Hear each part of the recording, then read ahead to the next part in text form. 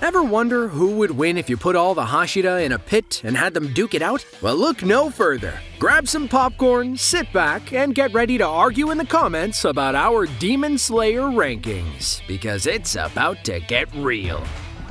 Now, Shinobu might not be the strongest physically, but she more than makes up for it with her speed and precision. One of Shinobu's most notable battles was against the spider demon Rui, who was a powerful demon known for his formidable strength and agility, making him a tough opponent for anyone to take on. Using her insect breathing technique, Shinobu was easily able to outmaneuver Rui and strike him with precision, taking him down with ease. Her speed and agility proved to be too much for Rui to handle, and she was able to defeat him and protect her fellow Hashira. We also learned that although she is unable to behead her opponents, she uses a special wisteria extracted poison to take down demons. This battle was a testament to Shinobu's technical skill as a fighter, and it solidified her as one of the most formidable Hashira in the Demon Slayer Corps. Just uh, don't let her cute appearance fool you. She is a demon slaying machine.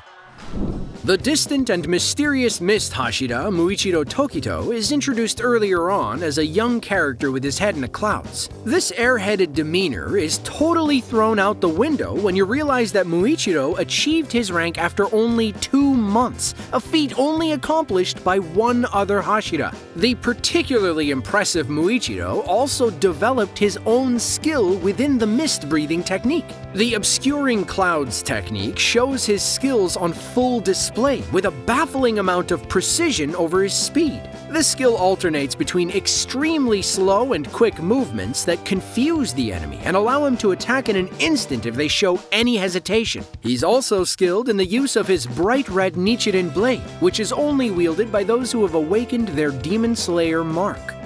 As the love Hashira, Mitsuri is no joke when it comes to fighting demons. The fact that she not only learned flame breathing techniques, but also developed her own fighting style to fully maximize her potential should tell you all you need to know about Mitsuri. With a Nichirin sword resembling a whip and well above average flexibility, she is able to maneuver in a difficult to counter way, making her one tough cookie to fight. Originally, Mitsuri joined the Hashira in order to find a husband who could outperform her in terms of strength. This uh, proved to be a pretty difficult task because of her immense level of brute strength. Despite a thin exterior, her muscles are actually eight times as dense as an average human, and it's necessary for her to eat as much as approximately three sumo wrestlers to maintain her physique. Ultimately, finding a good match worked out for her in the end, but we have to admit that those are some high standards. Obanai, the rule-abiding serpent Hashira, may not have the most conventional fighting style, but his snake-related techniques are definitely something to behold. Iguro was able to achieve his rank with only one functioning eye, a limitation that could leave some vulnerable in a battle. He's also not the strongest physically, and he has a small stature. All these traits that would normally set someone back were not an issue for Iguro. His strict training and harsh mentality, paired with an incredible amount of endurance and speed, push him into the sixth spot on this list. Though he may not be the strongest of the Hashira, he was a major contributor when it came to bringing down Muzan in the end. It just goes to show that raw strength isn't everything. You need technique and stamina to be a good demon slayer. Now this doesn't come without personality flaws, however, as Obanai can be standoffish to those he perceives to be mentally weak. Certainly the flashiest character out of the bunch, Tengen Uzui is the sound Hashira and also a demon slayer to be reckoned with. When he isn't boasting loudly about flamboyance and festivals or something, Uzui takes the top spot when it comes to speed and number two in brute strength. He may be hiding some inferiority complex issues underneath the confident front, but he actually does have the skills to back up all his claims. With his sound breathing technique, he uses an acute sense of hearing to pull off superhuman feats like echolocation, as well as produce explosive sound waves that do some serious damage to his opponents. Even after losing a hand and being severely poisoned, Uzui is able to stand his ground in a fight with Gyutaro, an upper rank demon who had defeated countless demon slayers. Despite his battle prowess, though, Uzui does eventually end up retiring from his position as a Hashira after taking some serious damage due to his desire to spend more time with his family. This drew criticism from Obanai, but we think he made the right choice.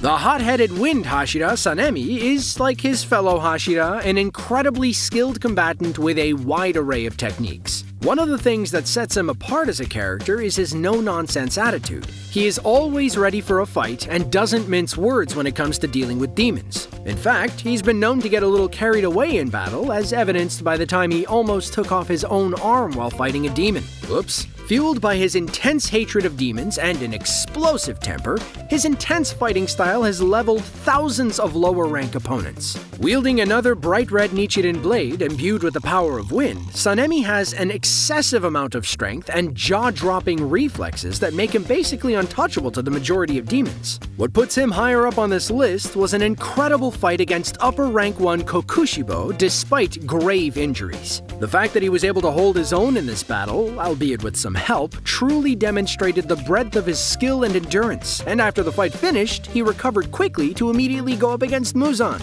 It was also during this fight that he awakened his own Demon Slayer mark, significantly increasing his physical capabilities. Plus, he underwent some serious character development, from grumpy around the clock to a mellow, well-rounded friend to his fellow Hashira. Even though it's a strength ranking list, it does give him a few awe points.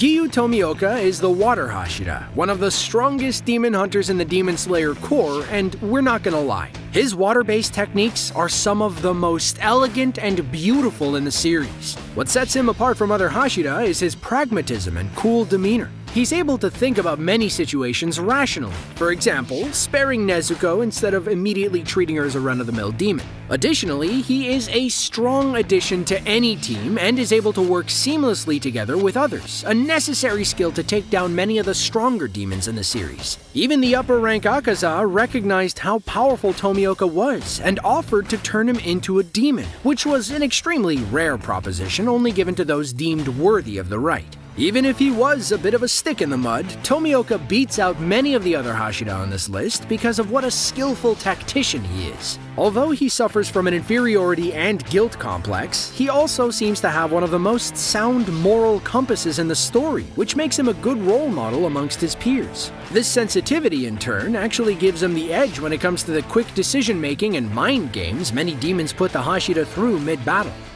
Kyojuro Rengoku, aka the Flame Hashira. His hakama is covered in flames, he uses a flame-breathing technique, his hair is flame-like, he likes spicy food, you get the point. He's the character that had us all wondering after watching Mugen Train, why did they have to make him so dang likable? Incredibly optimistic, a strong fighter, and basically the embodiment of a golden retriever, Rengoku takes the number two spot on our list today. His enthusiasm for his Hashira duties were unmatched, and he went into every battle with just as much passion and pure-hearted energy as the last. Not only is he one of the strongest Hashira, but also a fan favorite across the board. One of Kyojuro's signature moves is a powerful slash that appears as a dragon, carving deeply into the entire surrounding area where he uses it. Also, he's able to use his fire-based techniques to create shields, barriers, and maneuver quickly to evade attacks. During his fight with Akaza, the upper rank 3 demon praised his skills highly, even so much as expressing admiration for Rengoku's strong fighting spirit. He possessed a special extrasensory perception of his surroundings, often detecting his enemy's intent or even specific abilities and weaknesses of the demons he was fighting against. Ultimately, Rengoku was defeated by Akaza during the events of Mugen And train, but not before doing some serious, serious damage on his way out. Finally, that brings us to number 1. Gyomei Himejima, aka the Stone Hashira, is a total beast in battle, and the strongest demon hunter in the current generation Demon Slayer Corps. First and foremost, his massive frame sets him apart from the other nine as he towers above them, sporting an extremely muscular build. Now, despite his kind of intimidating look, Gyomei is a total sweetheart who is in touch with his emotions. Blind since childhood, his other senses have become extremely heightened to compensate for his lack of sight. Using his superhuman hearing, he's able to detect the subtle movements of his enemies and even discern if they're lying or not due to the tone of their voice. Gyomei also wields a massive Nichirin spiked flail and axe, with which he uses the sounds of the chains to determine the trajectory and movement of his weapon. He's also gone up against Kokushibo, who holds the upper rank number 1, the strongest ranking under Muzan himself. After fighting him on equal ground, Gyomei then went on to back Muzan into a corner with his brilliant tactical skills and sheer power. His total mastery of stone breathing further sets him apart from the rest, as his acute hearing and super strength pair into one and maximize his use of his Nichirin axe to the fullest of its potential. He's also able to access the transparent world despite a lack of sight, and therefore can accurately read the situation and make a solid judgment based on factors like blood flow and breathing.